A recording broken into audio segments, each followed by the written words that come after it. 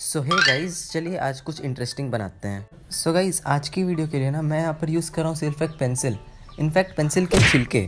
आज हम लोग पेंसिल के छिलकों की मदद से कुछ अमेजिंग रैंडम डूडल्स बनाने वाले हैं, जो कि सच में बहुत ही ज़्यादा इंटरेस्टिंग होने वाले हैं।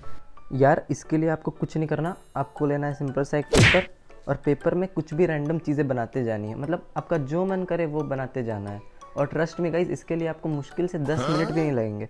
बिल्कुल सिंपल और इजी सा ये ड्राइंग है। और आपको बनाने में भी बहुत ही ज़्यादा मज़ा आने वाला है। एंड अगर आपके पास भी कुछ इंटरेस्टिंग आर्ट चैलेंजेस हो तो नीचे कमेंट बॉक्स में ज़रूर बताना और ऐसे ही रैंडम आर्ट वीडियोज़ देखने के लिए सब्सक्राइब कर देना। तो चलिए मिलते हैं अगली वीडियो में। तब तक के लिए बाय बाय